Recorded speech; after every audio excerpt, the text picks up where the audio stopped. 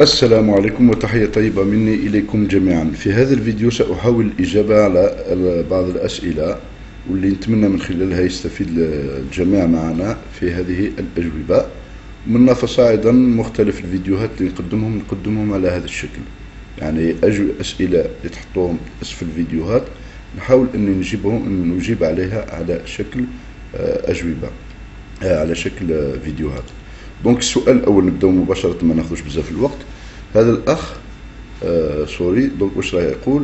خويا أنا بابا زايد في فرنسا وعنده passeport حمر و double nationalité وأنا دفعت dossier تاع nationalité ومازال ما رجعوليش عطيني معلومات. يا أخي donc واش نقول لك يا سوري؟ بكل صراحة آه الأب تاعك إذا كان عنده passeport حمر وعنده double nationalité معناتها عندك الحق ولكن بشرط. الشرط إنه نهار هز الأب تاعك nationalité ولا هز ال double nationalité تاعو يعني تشوف تاريخ اللي دار ال nationalité تاعو. هذاك الوقت تشوف روحك. إذا كان كنت mineur في الحالة هذه من حقك لا إشكال تدي la nationalité بدون إشكال. وإذا كان كنت majeur في الحالة هذه ما تقدرش تدي la nationalité نروحو deuxième سؤال ثاني. خويا جيت لباريس بغيت ندير فرع لشركة قالوا لي خصك بطاقة إقامة. خويا أش ندير؟ أنا عندي فيزا سياحية. يا أخي إلكتريك إلكتريك. يا أخي إلكتريك إلكتريك.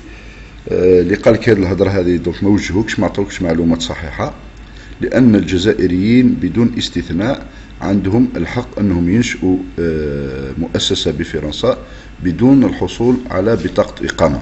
يعني من حقك دير فرع لشركة بفرنسا بدون ما يكون عندك بطاقة إقامة. كي دير الفرع للشركة ودير un bilan يكون شباب يتعدى السميك اللي هو 1200 للشهر وراني وضحت في des vidéos سابقين وكان تولي القناة تاعي وتشوف آه كيفية آه الحصول على بطاقة إقامة عن طريق المؤسسة تلقى المعلومات اللازمة في هذا المجال.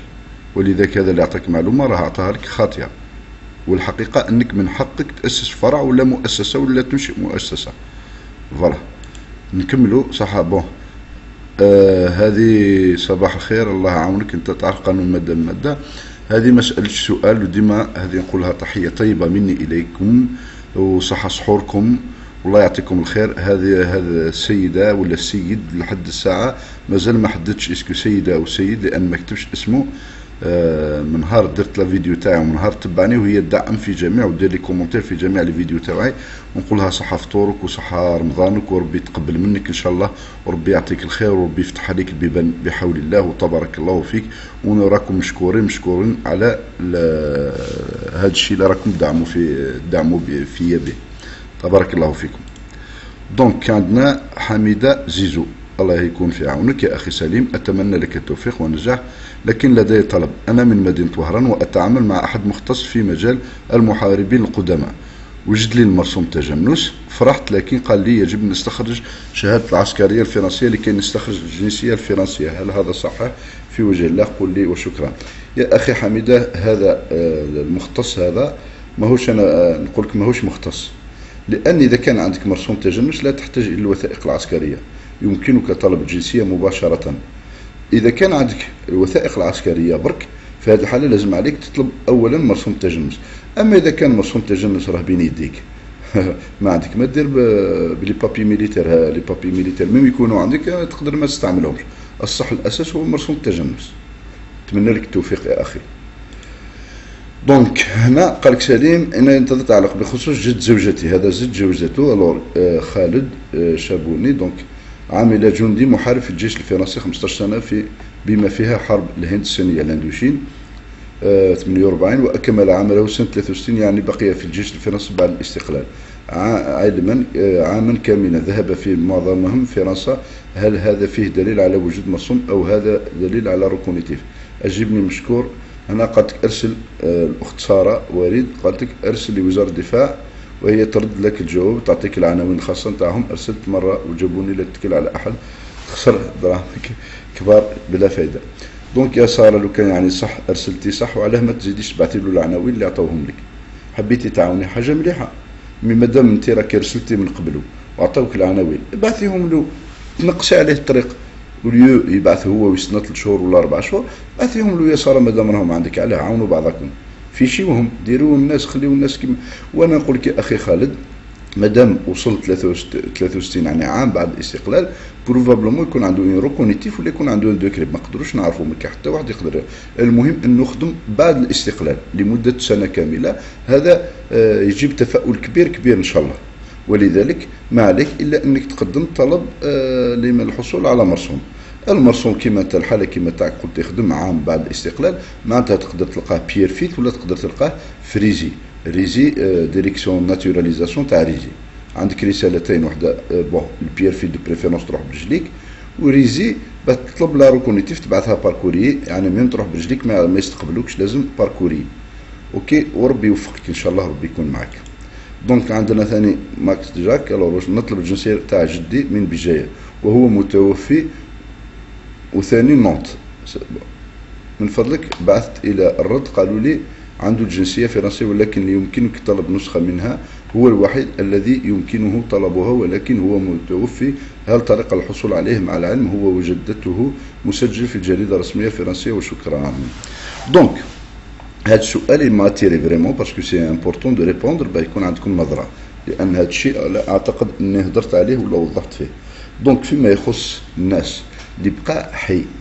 donc نوضح لكم بعض المعلومات يعني أي شخص آه، في هذاك الوقت ولا في وقتنا هذا يطلب الجنسية. بعد ما يقبلوا له طلب الجنسية واش يديروا؟ يديوه الجريدة الرسمية ويسجلوه ويخرجوا له un décret من الجريدة الرسمية. décret de naturalisation بعد ما يخرج ال décret de naturalisation يسلموا له شهادة الجنسية وشهادة آه، الميلاد يعني الحالة المدنية. وهذا آه، يعني يديروا له ترانسكريبسيون في Nantes وراهي سارية المفعول إلى يومنا هذا. ولذلك إذا كان توفى الشخص معناتها الجنسية تتوفى معاه ما يعطيوهالوش. ولكن le décret من حق الأحفاد les ayants droit. يعني دوك أنتم كي يكون عندكم واحد ميت جدكم ولا باباكم وعندكم شكيتوا فيه باللي عنده الجنسية الفرنسية ما لازمش ديروا demande nationalité française تاعو. لأن certificat nationalité c'est comme carte d'identité تتمد لصاحبها فقط ما تتمدش لأي شخص آخر. ولذلك إذا كان الشخص مازال حي يقدر يطلب نسخة من شهادة الجنسية الفرنسية تاعو. أما إذا كان الشخص متوفي فالأحفاد تاعو ولا الأبناء تاعو ce qu'on appelle ce qu'on dit les droits لازم عليهم يطلبوا مرسوم التجنس تاعهم décret naturalisation تاعو ولا jugement d'admission ولكن ما يطلبوش الجنسية تاعو لأن الجنسية تاعو ما يمدوهاش يمدوها غير الحي. وكي يعطيوك مرسوم هو عبارة عن شهادة كما يقولوا équivalent تاع CNF معادلة لشهاده الجنسية. وإذا كان ما فهمتوش هذه النقطة أنا راح ندير une vidéo ان شاء الله prochainement نوضح لكم على الشيء هذا بيان. donc نكملوا. donc تبارك الله تاع جده هل يمكن أن أجد مرسوم تجنيس؟ certificat de reconnaissement معليش. راني استنى الإجابة. يا أخي هل يمكنك أن تجد مرسوم؟ والله العظيم. يعني صدقني بالله. لأن الأمور تعود إلى آه، قبل الاستقلال يعني أكثر من 60 سنة. ولا ربما الشخص هذا اللي راك تحوس عليه زايد في 1900 1905 وإذا كان زايد في 1910 و15 الشيء هذا يزيد compliquer les choses. يعني آه، هذو يعودون إلى أكثر من 60 سنة. شكون اللي كان حي مازالوا في هذاك الوقت واللي عرف est-ce que عندهم ولا ما عندهمش. الحل الوحيد إنك تتكل على ربي وكما يقولوا تسعى وتروح تحوس. تقدر تلقاه تقدر ما كان حتى واحد يقدر يجاوبك السؤال هذا. واللي يجاوبك قال لك تلقى 100% كذب عليك. واللي قال لك ما تلقاش كذب عليك. يعني البحث عن المرسوم عبارة عن احتمالات حسب الوثائق اللي راهم بين يديك. تشوف الوثائق اللي راهم بين يديك على الشخص هذا وتشوف الاحتمالات. est-ce que y a possibilité ولا ما كانش la possibilité ولكن سؤال مباشر كما هذا والجواب مباشر ما كانش ليه جواب. ربي يوفقك إن شاء الله أيضا. donc سلام خويا بغيت نسقسيك جدتي ميتة كانت عندها جنسية فرنسية ما كانش تعرف راحت حطتها في الولاية كندير. bon آه إذا كان راحت حطتها ça dépend طريقة تاع حطها est-ce que راح دارت un jugement تاع التنازل على الجنسية الفرنسية ولا راح دفعتها parce que وثيقة برك دفعتها لأمر من الأمور وما récupérاتهاش كيما يقولوا elle n'a pas récupéré son papier ولا son document إذا كان راحت الولاية أظن لا أظن لأن الولاية ما ما ديرلكش تنازل désistement ce qui concerne la nationalité الولاية ولا ربما دارتها في أي ملف في الولاية فقط لأن ال désistement il se fait au niveau de tribunal donc ال tribunal هو الوحيد اللي عنده القرار باه يقدر يدير تنازل على الجنسية الفرنسية لأي شخص مهما كانت صفته أما الولاية فهي مصلحة إدارية وليس والقانون لا يخول لها أن تقوم بأي ce qu'on appelle de faire aucune procédure dans ce sens-là فوالا نزيدو نكملو على بركة الله دونك عندنا ايضا سؤال اخير هو يقول بونسوار مسيو سامي ميرسي بور لي بارتاج اي تو لي بارتاج كو فو فات بور نو سورتو بور لي جون كي شيرشون لور depuis longtemps. Je, alors, je vous, vous poser, deux fois vous vous posez une question qui, du coup, peut aider, s'il vous plaît, de jambon. Est-ce que c'est vrai ou logique que les personnes inscrites sur le registre de naissance ou décès de l'époque, avec la mention de sa profession exactement cultivateur, sont généralement naturalisées Si une personne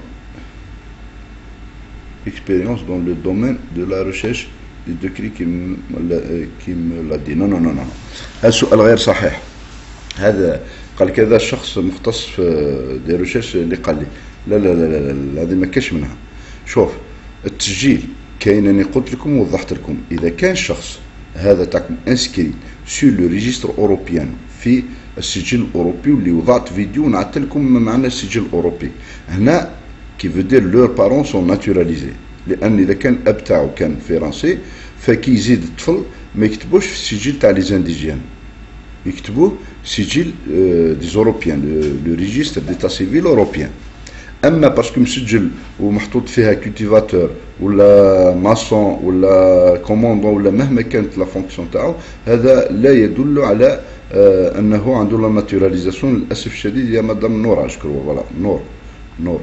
donc de préférence ما تاخذيش بعين الاعتبار على الشيء هذا إذا كان الشيء هذا اللي قالها لك هذه هذا احتمال. jamais توقعته jamais جا في راسي و jamais تلاقيت معه. على كل حال donc أنا نقول لك هذا ماهيش نقطة هذه ماهوش احتمال ما عنده أي احتمال عنده صفر في المية من الاحتمالات في الشيء هذا. voilà أظن أني جاوبت لهذه الأسئلة كاع. نتمنى أنكم استفدتوا معايا وبحول الله اللي عنده أسئلة يزيد يdéposيهم. وأنا راح ندير des captures d'écran ونجاوب عليهم سؤال ما سؤال ما بعد سؤال بحول الله. donc اللي يحب ياخذ موعد معايا toujours في فرنسا ولا في الجزائر تجدون أسفل هذا الفيديو. رقم الهاتف وتجدون أيضا الإيميل اللي وين تقدروا تتصلوا بيا. صحة فطوركم واللي شاف la vidéo وقت سحور نقولوا صحة سحورك وتحية طيبة مني إليكم جميعا وسلامي لكم. وإذا كان استفدتم من هذه الطريقة في الرد على الأسئلة ماذا بكم تخليوا لي des commentaires؟ باه نولي نخدم على هذه الطريقة ونجاوب الناس باللي استطعت إن شاء الله. بسلامة.